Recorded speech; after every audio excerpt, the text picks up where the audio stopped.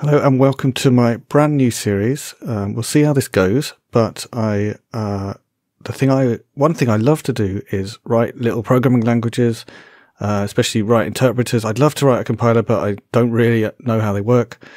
Um, but I love writing interpreters. Um, and so what I thought I'd do is write a language that's a bit like Rust in Rust, just because I love writing Rust. I love writing, uh, programming languages. Uh, I don't necessarily know how to do it, but you know, I've done it a few times and I've muddled my way through. Um, so uh, we're going to try and write a little, little Rust-like language in Rust um, that it maybe is useless, maybe it's just for fun, or maybe it's going to be something that combines some of the advantages of Python with Rust. So, um, like you don't you don't need to compile it. I don't know what's useful about what what I like about Python. I really like um, how immediate it is. Um, uh, but what I really like about Rust is that you have types and things that make things feel safe and easy and nice. Um, but yeah, so uh, at least for the beginning, this isn't going to be anything useful. It's just going to be um, playing around with uh, figuring out how you get a language like Rust to parse and um, run. Um, and then maybe one day it'll be something useful. Um, so I haven't got much so far. What I've got is a name. The name is Milk. Uh, the name is inspired by the milk snake because obviously a python is a snake, uh, but the milk snake is rust colored. So it's like a rust colored snake, right? So we're going to call it milk. I mean, you got to call it something. So yeah, um, I'm looking forward to this. I have no idea how it's going to go. I haven't practiced this beforehand, which I kind of planned to do before I thought about doing this series. Um, but I couldn't sleep tonight. I just thought let's let's start the new series. Let's see how it goes. So uh, we're going to start off by trying to implement um, a bit of a lexer for milk. So a lexer is the thing that takes um, text and turns it into a stream of characters um, sorry, a stream of tokens, takes a stream of characters, turns it into a stream of tokens, where tokens are like chunks of a programming language that um, that you might recognize, like an open bracket or a keyword like let, or a variable name like a, or something like that. So um, that's what we're going to do. Uh, well, let's just get started. So I'm I'm going to do everything as I uh, usually do, um, test driven. So Let's write some tests. Maybe just one. So I'm thinking we're going to have, well, actually, I'm thinking eh, all this is going to happen inside a, a, a, a module called Lexer, which we're eventually going to move into another file, but for now, we'll do it all in here. So the Lexer module is going to have its own tests, and the tests are going to look something like well, what's the first thing we want to be able to parse? How about an integer? So, um, let's just parse an integer. So let's parse. So at the parsing phase in Rust, you know it's an integer, but you don't know what type of integer it is, like 64 bit or whatever. Like, I mean, there's a way of specifying in Rust that that you, you want to say exactly what type it is. But if you don't specify it, it figures it out from the context. So that's going to be interesting to figure out. But what that means is that for now, this is just going to, it's not, this is going to be lexing an int. Um, it's just going to tell us, I've got something that looks like an integer type, and it's not going to tell us, um, exactly how big it is yet. Um, so when it's just, when it's just reading the text of your program, um, it comes across something that looks like an integer, it's just going to say this is an integer. So we're going to, it, lexing is going to look something like, we're going to call a function called lex. We're going to give it something, maybe a string. We'll, we'll figure that out. So when we give it a three, then that is going to lex into um, a token So it's going to be, there's going, we're going to have some kind of structure or whatever, something called a token. uh, which let's just say it's going to be an, we're going to have a thing called an int token. We'll make this up in a second. And uh, an int token is going to actually hold on to the the digits of that number as, as a string is how, what I'm expecting will happen. We'll see whether I'm right about that. All of this might be completely wrong. So let's first of all make our test um, compile but fail. This is fun, isn't it? Now, I also want to make sure that this is going to work outside of the testing context. So it's going to take in some input. I think in the input is going to be of type read. Uh, and it's going to return. Um, well, it's going to return an. I think eventually it's going to return an iterator, iter, iter of with an item of type token. Right? So you give it something you can read, which is like, you know, like a string like thing, something, uh, you know, or like a stream of input from your, from somewhere and it's going to give you back uh, something you can iterate through. And each time you ask for the next thing, it's going to give you back a token. And what I want to do is try and get main to look right as well. So main is going to do something along the lines of get hold of standard input. So that's going to be use std io. I think it's called std in. Yeah. So now we're going to say lex standard input, basically, like so, and then print out the answer. So that's going to be, I guess we're going to loop through. Because it's giving it's returning an iterator, and we'll print each token. Maybe debug print each token for the moment like so. And in order to do that, we're going to need to use Lex. We're going to need to be able to access Lex from Lexer. Now that's, it's not like doing that because it's not public. Maybe we're going to, when we're going to bring in Lex with an import. And here we're going to use std.io read. And I don't think a str is a stdio read, so that's immediately a problem. Um, oh, this should be impl read.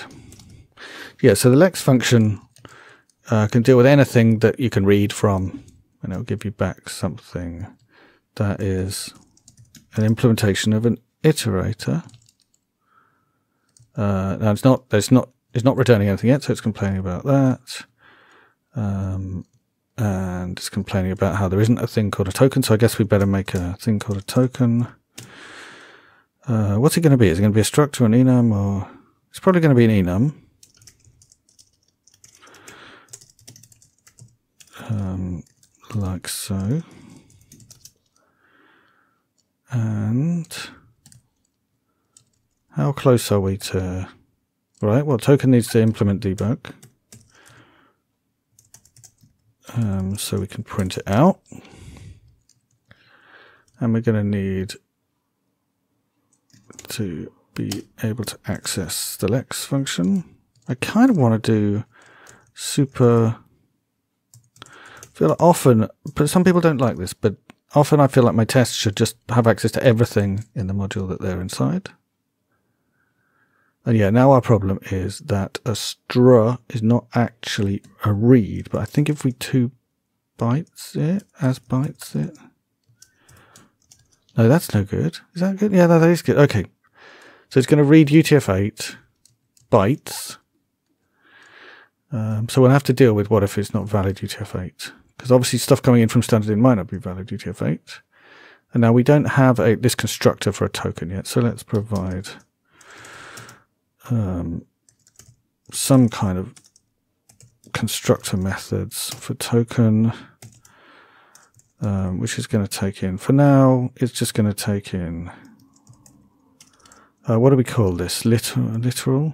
Let's call it literal for now. That might, I might um, might not like that. And for now, we're just going to return it.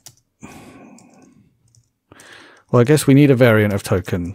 We need at least one variant of token, so uh, it's going to be this, but we're going to take ownership of, or create a string that we own. So that means token needs a variant called int, which owns a string. And that should have, that should be a capital. Like so. So, um, okay.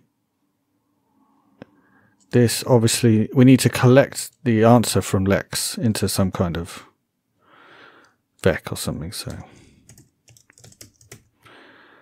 let tokens equal this collected into a vector. So we'll just say the type of it. We might want to write some utility functions to make this a bit easier, but and now we've got a vec, so we need to be able to compare that tokens. So we're going to compare that with like an array of token, maybe, maybe a slice of token if that doesn't work. Um, and that should be we should be collecting this to get that. All right, so you can't. All right, so we can't compare tokens. So We better make that derive partial eq. So hopefully that'll mean it lets us check that they're equal. Yeah, that seems to work. All right, so we need, look, we've got almost a program. We've got to implement Lex. All right, so we can make our first test pass the dumbest possible way by returning, we've got to return an iterator. Um, so I wish we had a yield keyword, I really do. Um, but I guess we can make ourselves a vec and then call into iter on it. Yeah, so let's make our test fail before we make it pass. All right, so we've got various warnings. I think we're going to ignore the warnings for now and see if our tests pass. So our test failed. We were expecting to pass to um, Lex that that string 32 and produce an integer string 32. In fact, I think my first test I want to do is just going to be the number 3, not 32. Oh, look, I, yeah, I kind of obviously meant that and then did it wrong there.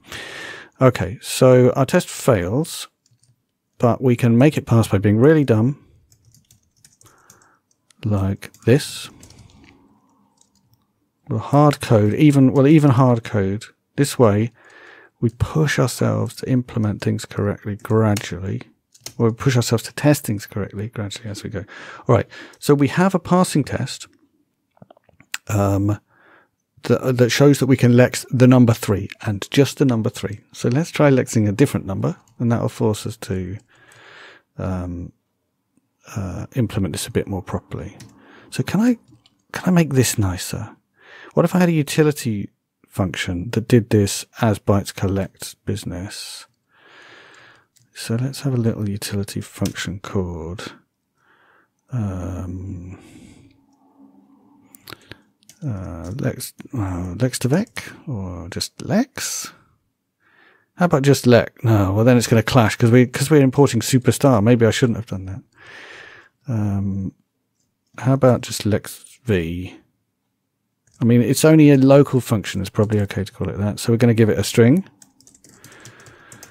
And it's going to return a vec of token. So it's nice and simple for our test. And it does all the heavy lifting of this stuff. So it is going to call Lex, pass in our input, um, turn it into bytes so it can be passed into Lex as a read, and then uh, call collect on it. Once we've got tokens, I guess we can just return it. So actually, yeah, it saves us having to declare the type because the type's already declared in the function signature. It's all nice. So now we can assert that uh, this lexi function of 3 gives us a token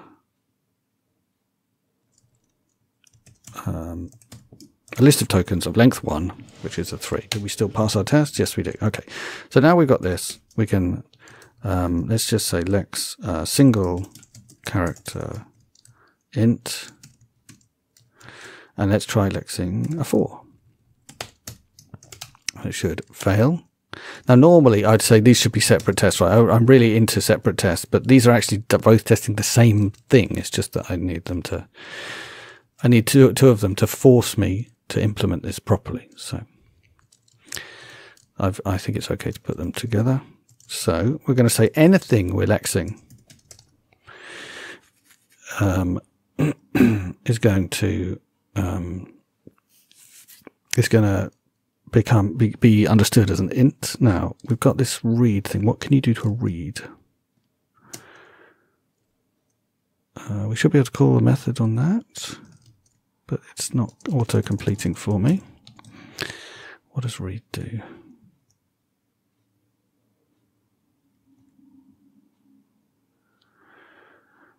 Um, oh, it's so you can read into a buffer. So, okay, we, first thing we want to do is so, somehow wrap this in like a buffered reader of some kind, I think. Maybe I want yeah, let's wrap it in a buffered reader. Then we can do more interesting stuff to it. So I think what we want is BufReader. Yeah.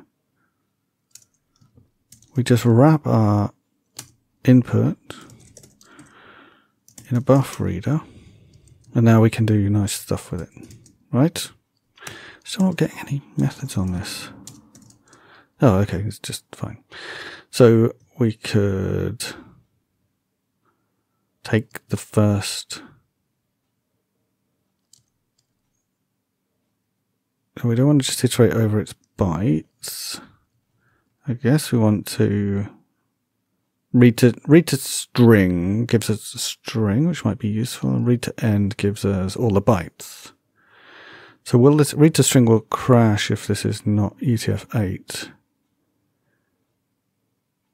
Yeah, or it'll return an error, I guess, which is fine by us.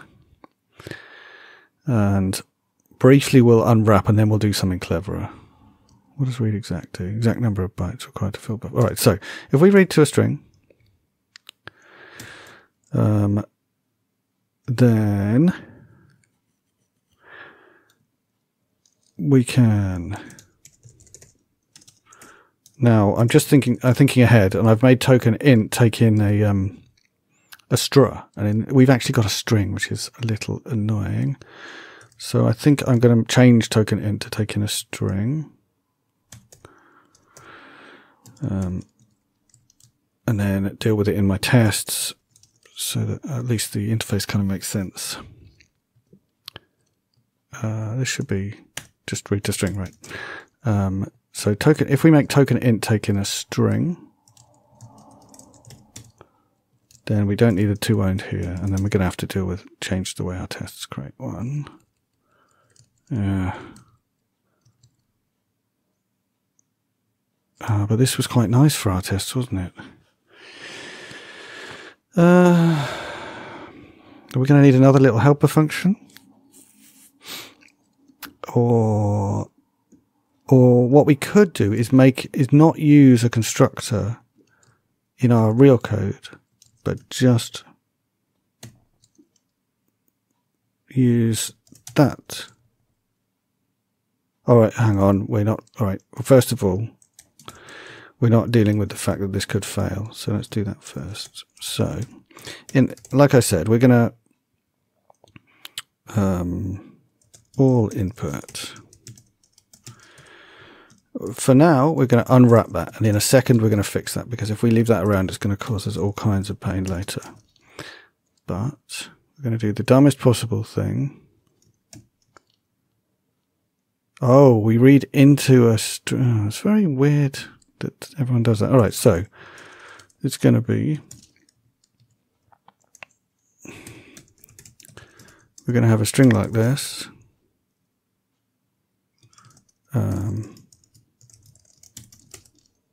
and we're going to read into all input like this.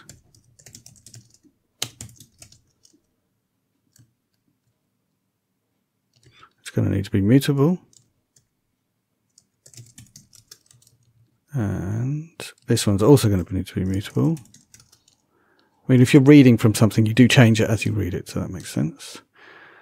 Um, so now, now what, what we're doing is wrap, wrap our input in a buffered reader, um, read all of it into a string, and then assume it's an int, and stick it in a vec, and return it. So obviously this code's still pretty dumb, but now this goes back to being, take in a string reference, take ownership, or rather, create an own string from it. Now this is fine. This actually is only useful for tests.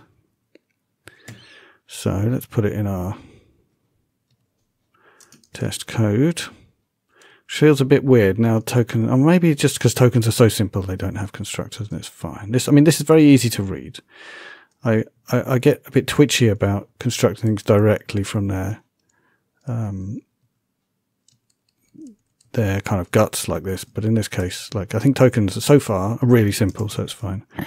Now, if we run the tests, our tests pass. So we're now able to pass a three or a four. And let's just try running it with some input. So if we pass in a three,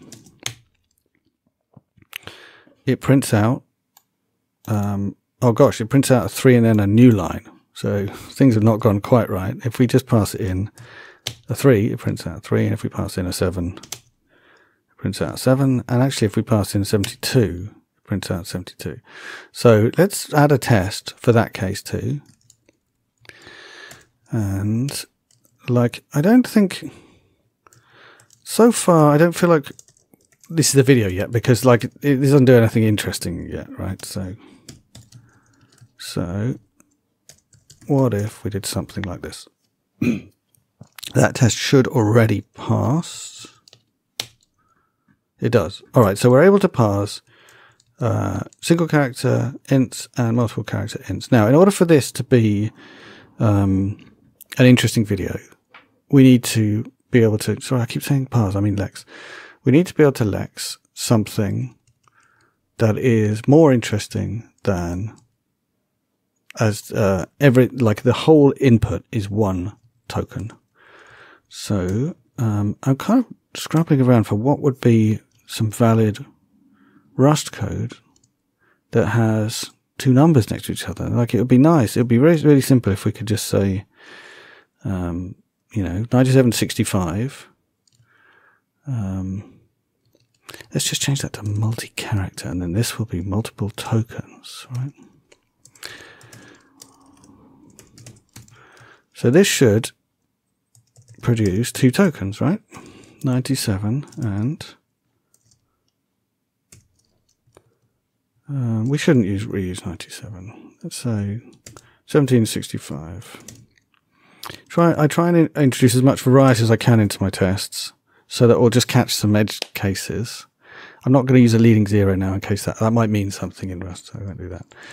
But yeah, just keep on, I just keep on adjusting things um, for that reason. All right, so that failed because it, uh, currently our code just takes in um, everything and it treats it as a single integer token. Um, I also want to think about whitespace at some point and I want to think about errors. So let's, before we forget, let's add ourselves another test case, which is uh, lexing non-UTF-8 is an error, right? So now we're going to say, right, well, I mean, okay, that we'll do that in a minute because that's going to mean changing the, the types of our, whoops, that's not how you comment in Rust. How weird. Um, that's going to mean changing the type of our lex function, which is going to return a result instead of a, an iterator or maybe an iterator of result. We'll see. We'll see. So let's focus on whether we can make this test case pass. And then maybe this is going to be the next video. I don't know. I want to keep these nice and short and tight. Um, all right. So we, at some point, I'm going to think about white space because we need, I would like a way of preserving the white space so that our error messages can be as good as possible. Um, yeah, so that might be what I've how I've seen this done before is that you preserve the entire input string for each file that you're um, lexing or parsing, and then you just remember like a token was at this point in the input string, and then you can when you're printing nice pretty error messages, you can um, provide they can use the the actual input string that you're working with um, to make that um, to make that error message look nice. The other thing that I was thinking of doing was like representing the white space as tokens uh, and keeping them around so that we can um, reconstruct the bits of source code that we are interested in. But yeah, I'm not sure that's helpful. And I'm also beginning, to, like, if we're going to keep around the whole string, maybe Lex shouldn't take in a reader. Maybe Lex should take in a string, right? And then we can hold references to into that string. So that might be, yeah. All right. Well, we're we're going to do one things one one thing at a time. We're not going to think about white space yet. And when we do error messages, that's when we're going to think about error messages. So yeah, that's definitely going to be another video because we're going to have to do some work on errors. All right. So let's just focus on getting these two things to work. So the structure of our lexer is going to start to appear because um, we're going to do we yeah it's going to look this was basically all hard coded we got we read all our input into a string and we don't want any of that instead we want to read the first character um, which is going to be how do you get a a byte out of a reader. And there must be, uh, I don't want a byte, I want a character. So we could read, so I guess we could treat this buffered reader as, yeah, this is starting to feel like, like given that I know that I am going to want, um, a whole string. I think you're basically going to ask you when you're when you want me to lex a file, read that whole file into memory, and then lex it. I was thinking that we would do it without loading the whole file into memory, but given we want really nice error messages and it would have to be a very large source file for it to be a memory problem to do that. I think what I'm going to do, just for the moment, so I don't have to fix these interfaces yet, is I'm going to read all the input into a string like before, and then I'm going to ask for the first character um, of the string. So that is going to be, this should be all input uh, and then just give me the first character. And then we, based on that first character, we're going to decide what to do. And the first character could be uh, something that is the beginning of a number. So it could be 0 to 9. And if so, we are going to lex a number and it might have been integer. I guess for now all we know about is integers, right? So um, what am I going to call this? I'm going to call it, I've been calling them int, so let's continue calling them int. And that is going to, we're going to need that number as well. So let's call it um, first digit like this. And we're going to say, please lex the rest of an int. So I'm just going to, for now, I'm going to call that function int and we'll see if we regret that. And we're going to need to pass in. So this all chars, it, it, we're going to have to get it out. So let's call it chars. It's going to be immutable um, iterator over all the characters. Like so. And we get the first character to do this match. And then we're going to pass the rest of the characters in. Are these things going to take in chars as the first argument, maybe? And it's going to take in a mutable reference to chars, I think. This should be chars. Right, so we got to write. Um, no, hang on. What is happening here? Well, we'll think about uh, the rest of this function in a second. Uh, oh, it should be okay. Okay, now we have got to handle. How are we going to handle the fact that we might have finished? Um, I really wish we had a yield. Be so good. Um, I don't know if in nightly you can use yield. Anyway, um, all right. So for now, we'll bail out. So we'll just say we won't unwrap. We'll just say we're finished.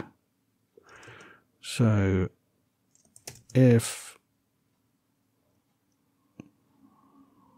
yeah, if we've got some some uh, no no it's not it's not here. It's the next so it should be we get the next character out. If we've got a next character that's what this is. If let's um char equals chars.next then we do this stuff. Um, and so this should now be just char. Oh it's not we're going to call it char because char is a keyword now, that should be if let.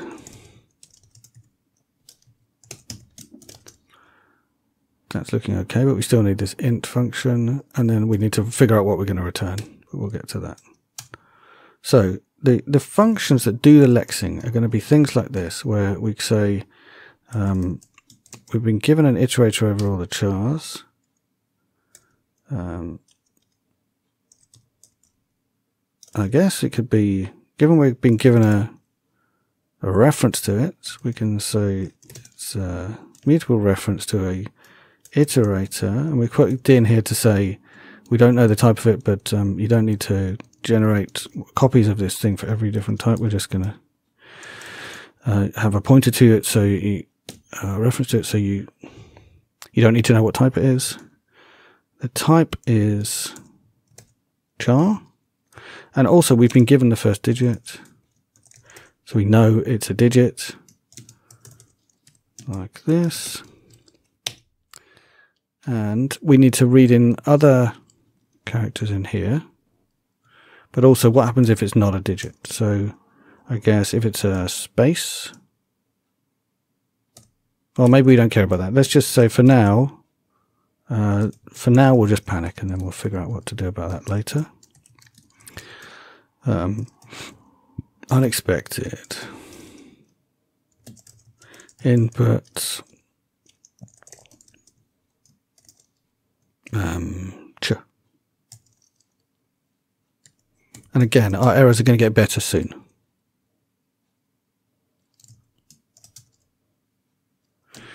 Uh, all right, so this int function needs to do something. Um, and we're gonna we're gonna we're returning an iterator, which is I'm not really handling properly here.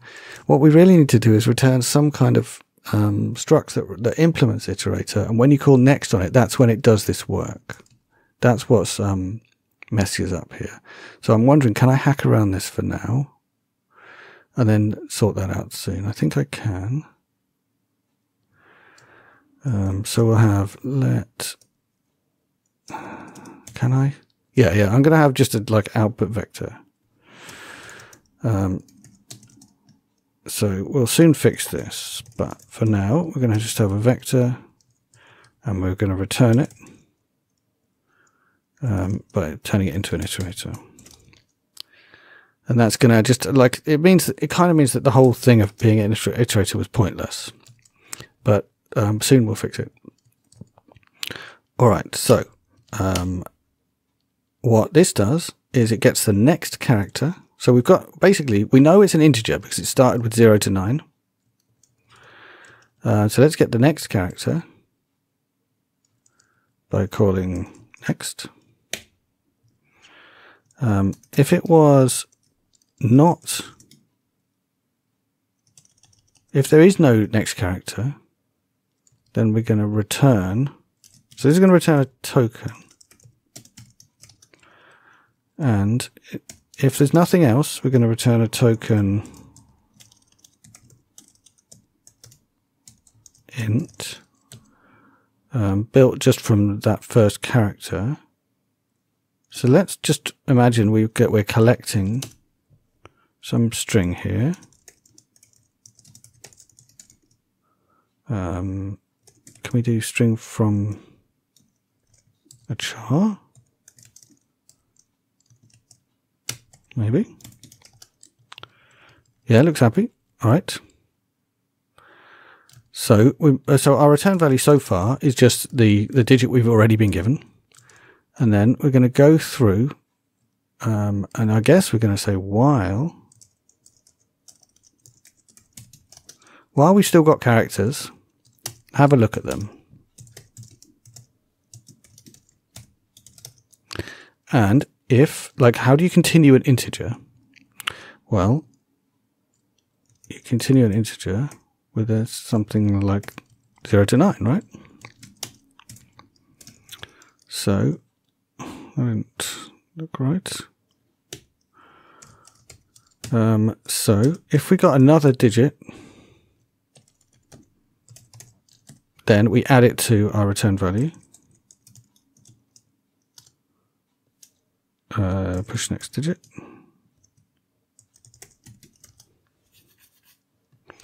So ret needs to be mutable. Yeah, we need to handle all the other cases. If it's not a digit, we're not in an integer. So we're going to break out of this thing. Break out of this while loop and return what we've already got. And we've kind of thrown away that character, which is going to work well for us right now, I think, and then work badly for us very soon. But for now, it should make sense. So, um, this should be. We should get hold of this token and then put it into ret.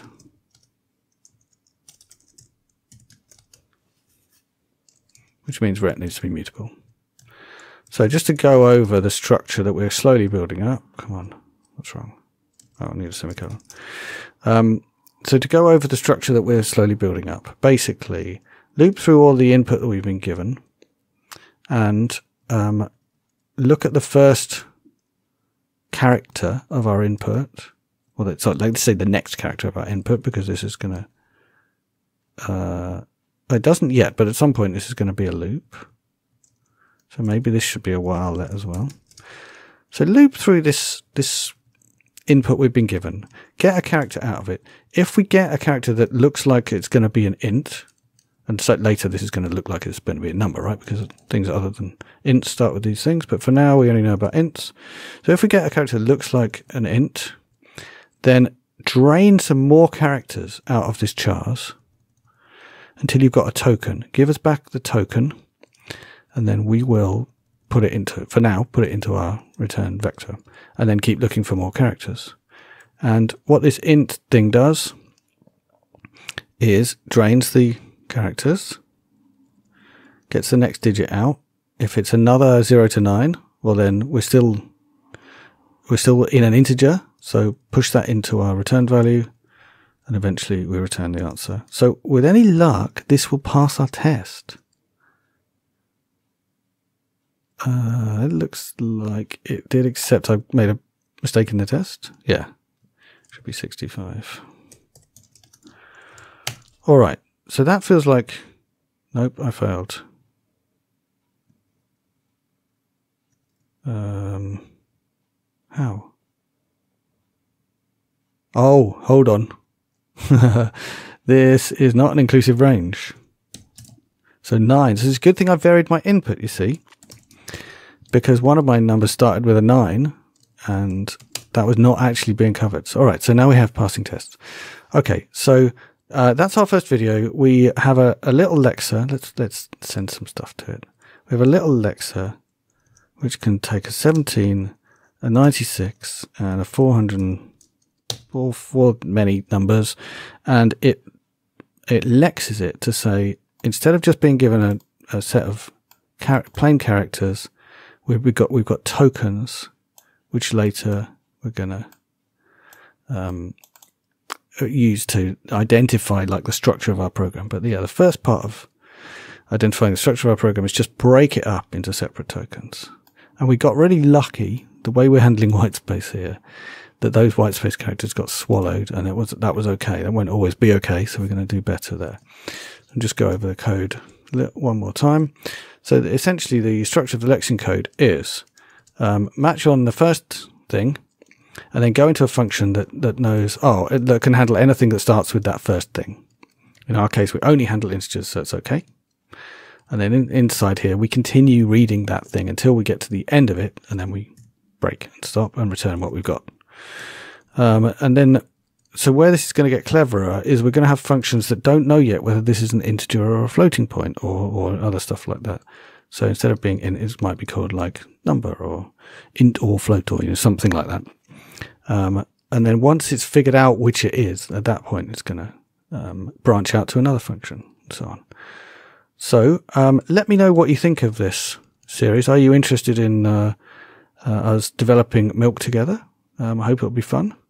Uh, and if you enjoy it, I'll see you next time.